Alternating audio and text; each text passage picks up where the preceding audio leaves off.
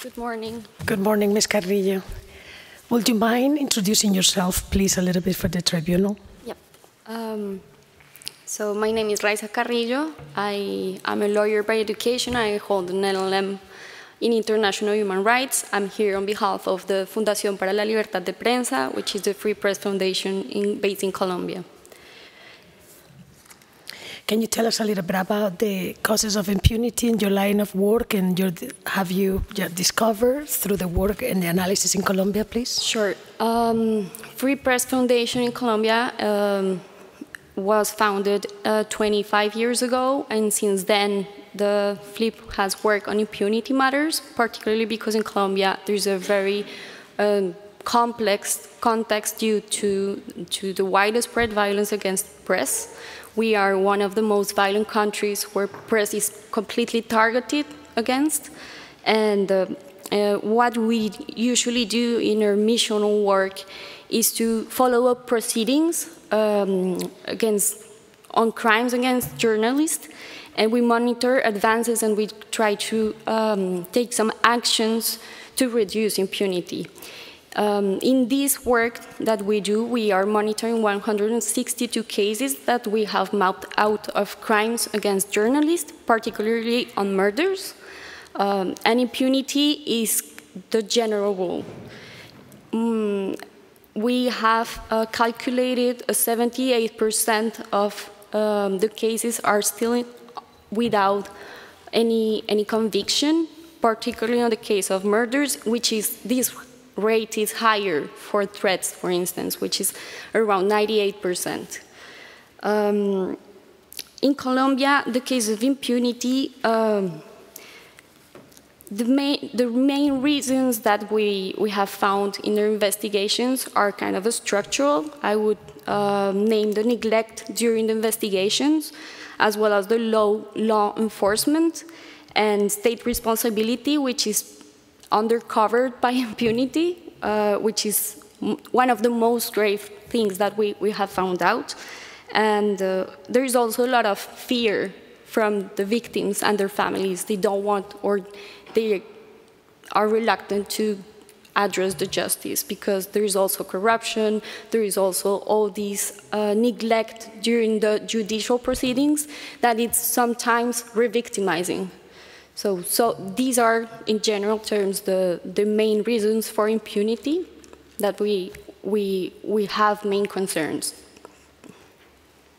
Is, has the other, I mean, lack of capacity amongst uh, legal, you know, judicial uh, officers, I mean, is there something that you have encountered in your investigations on impunity? Sure. The, the fact that we are monitoring all these cases uh, give us a first-hand experience on how the judicial proceedings are uh, undertaken by different level of authorities. And you will, of course, find a different, different level of trained people, the different kind of resources that prosecutors have at the local level or national level. So in many of these crimes uh, occur in the rural areas where of course, the lack of capacity is much higher. And particularly in those cases, you will always have more delays.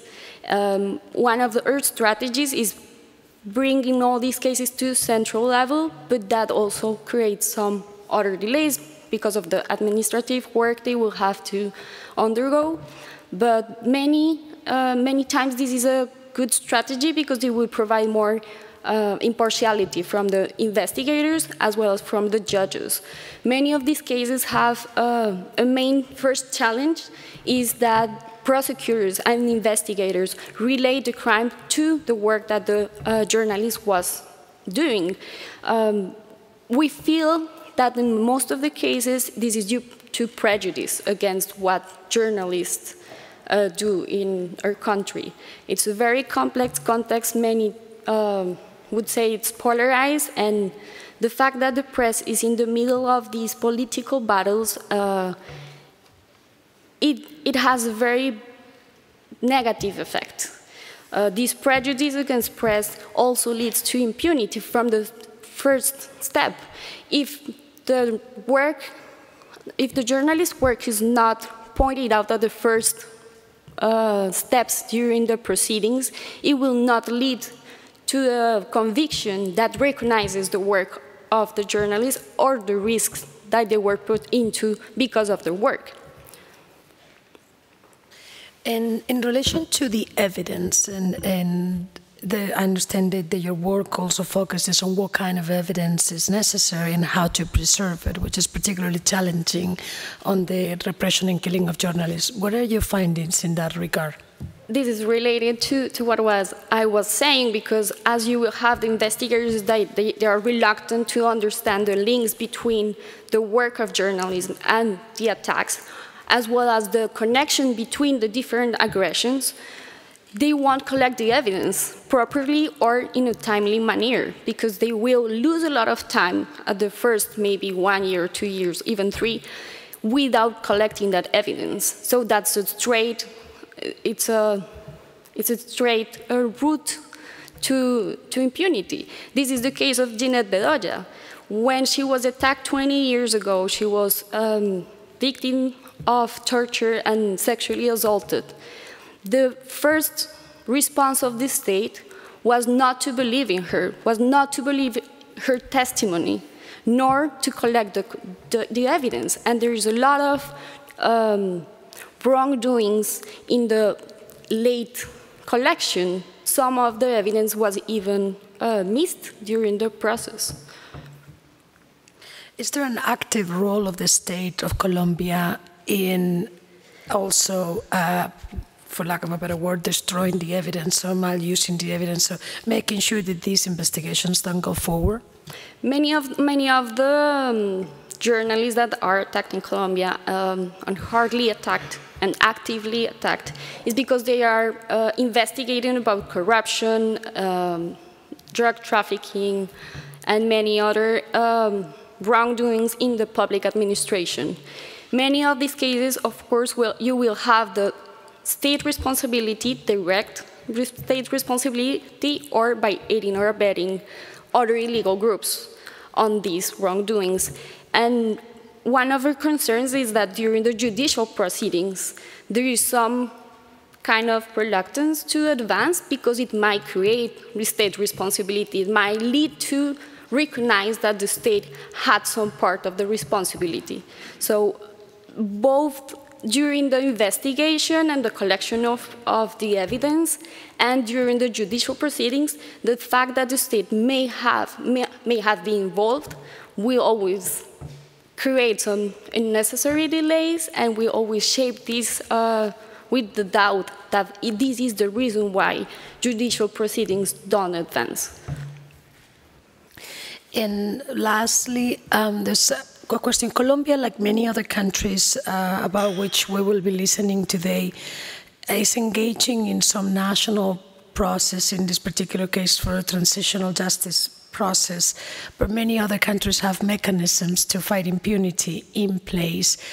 In that I mean, taking that into consideration, has the repression against journalists or the attacks on journalists ceased or decreased, or what is the situation, Ms. Carrillo? It, it is very unfortunately unfortunate, but since the peace accord, the figures are steady. Instead of decreasing, which is the, the figure of murders um, worldwide is decreasing according to UNESCO, the case of Colombia is different. We still have the same figures for the five past year, which is eight journalists that were killed, the last one being a month ago, which is uh, absolutely sad. And this, this really shows uh, on the spotlight that in Colombia there is no there, there is no preventive public policy regarding the protection of journalists. It's very poor, despite we have adopted a lot of international standards, regional standards, there's a low, low law enforcement.